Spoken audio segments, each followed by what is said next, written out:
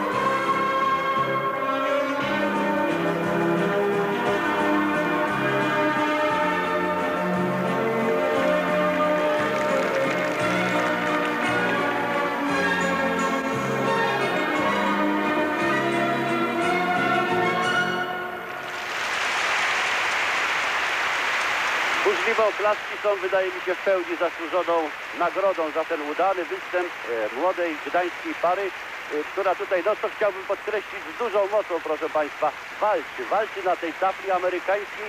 E, Powiem tylko, że w trzech tańcach obowiązkowych w każdym poprawiali się o jedną pozycję. Walc westminsterski. dla- Uplasowani zostali na 17 pozycji. Drugie, drugi taniec obowiązkowy.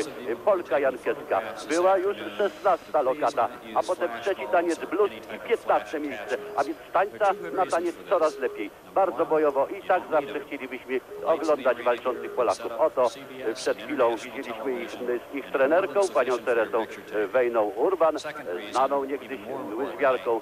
Pamiętamy taki duet taneczny Teresa Wejna, Piotr Bojańczyk, czołówka europejska przed laty. Może i wychowankowie pani Teresy pójdą ślady swojej trenerki.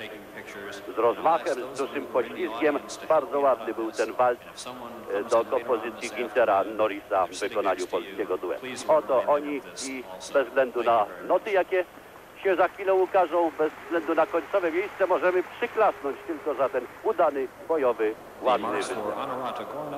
Andre Dostatny for composition.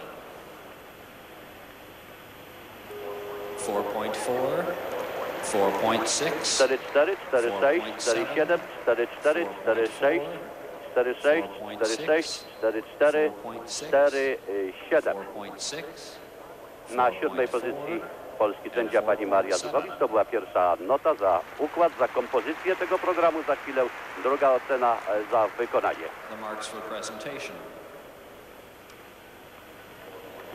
I 4.2, wyższe oceny.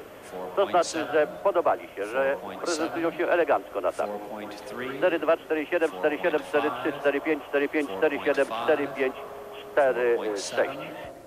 4.5 and 4.4. Jakie są wasze odczucia?